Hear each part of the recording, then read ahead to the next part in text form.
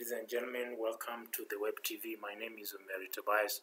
Of course, last time we looked at validation rules and validation text, but today I want us to look at uh, sorting data in the table. So, first thing you have, you open your table.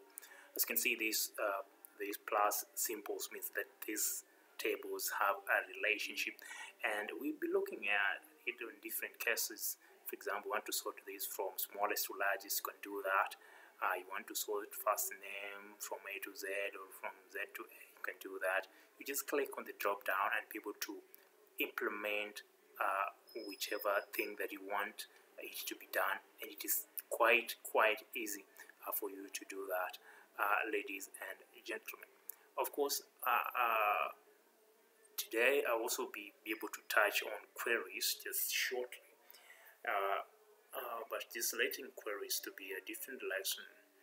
I will be able to just uh, teach you something uh, more on VLOOKUP. Uh, uh, I'll, I'll now be, try to implement something here. Just go to uh, design view. Now, suppose I want to add another here, another thing here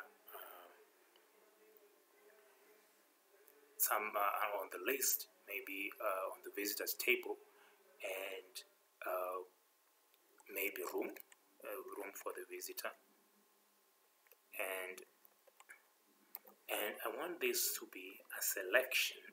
So I will going to select here on Lookup wizard, and it will take me here, and I will say I will type the values, then uh, once I say I'll type the values, maybe the number of columns, of course, uh, here is one, but uh, I have so many of them I can make it two, or so on and so forth.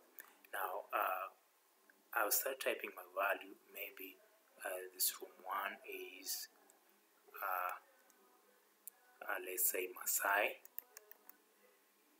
Maybe room two is uh. 3 is Nairobi, room 4 is New York, New York, and room 3 is Bay, room 6 is uh, and like that. I can be able to move forward select the valuable fields is column 1 and column 2 you can say column 1 and what label would you like for your lookup field and the labels room? And a limit to list and allow multiple values allows the user to choose more than one value the room. Of course we want them to select one.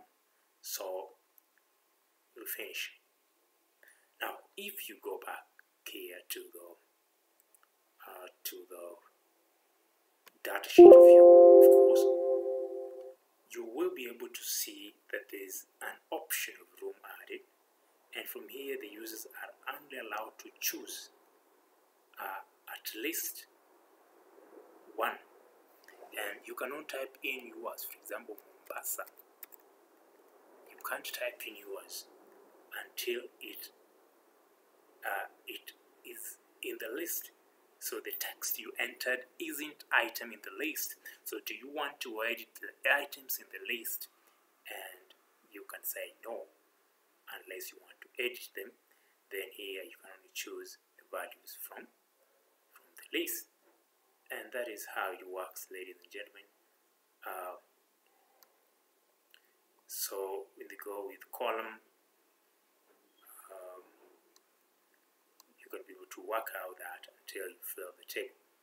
So up to that, that, ladies and gentlemen, next time we'll be looking at um, a query design and queries, uh, ladies and gentlemen, in our lesson 5. That is up for now.